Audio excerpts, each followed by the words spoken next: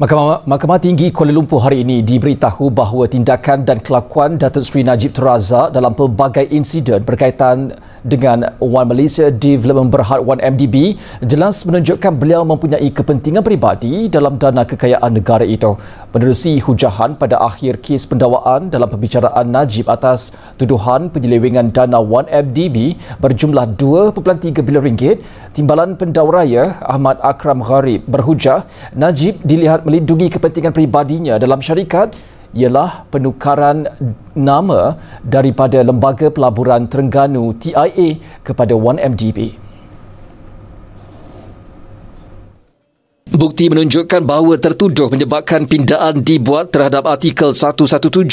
68 dan 93 memorandum dan artikel 1MDB untuk meletakkan dirinya sebagai pengawal muktamad bagi perkara penting berkaitan perniagaan dan hal ehwal syarikat.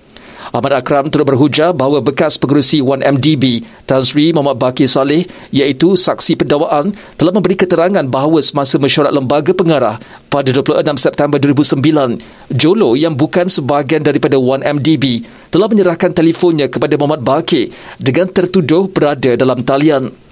Tertuduh yang berada dalam talian mengarahkan BOD membuat keputusan untuk memuktamadkan usaha sama dengan Petro Saudi International berjumlah 1 bilion dolar Amerika walaupun berdepan kegagalan mengumpul dana 5 bilion ringgit daripada IMTN iaitu bond nota jangka sederhana Islam.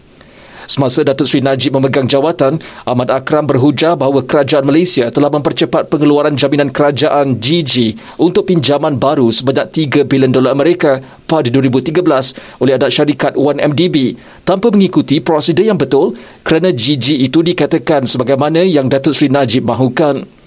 Ahmad Akram turut berhujah Datuk Seri Najib juga secara sistematik telah menyingkirkan Menteri Kewangan 2 Datuk Seri Ahmad Husni Hanazlah daripada mengendalikan urusan 1MDB apabila tertuduh tidak menghiraukan amaran Ahmad Husni berkenaan penubuhan 1MDB.